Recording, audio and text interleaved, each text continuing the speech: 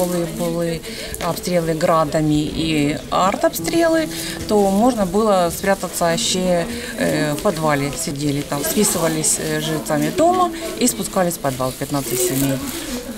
А коли почались авиа, а у меня последний этаж девятиэтажки, поэтому звук пролетающих истребителей это очень страшно. И в основном это было 11-12 часов ночи. Что Там не успеваешь спуститься. Город живет очень тяжело, но на нашем квартале и свет, и вода, и отопление было. Вот. А у людей, у многих моих вот знакомых, они остались бомжами. Квартир больше нет. Я уличных боей не видела, потому что у нас диверсанты были, их сразу же уничтожали, поэтому мы их не бачили. А э, на улицу саму э, выйти погулять, пройтись по магазинам я вообще не выходила.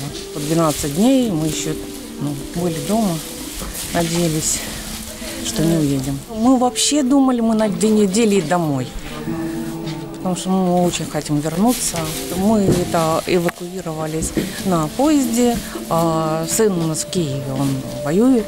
Надеемся, что все будет с ним хорошо, как и с другими ребятами. Надеемся, что скоро война закончится.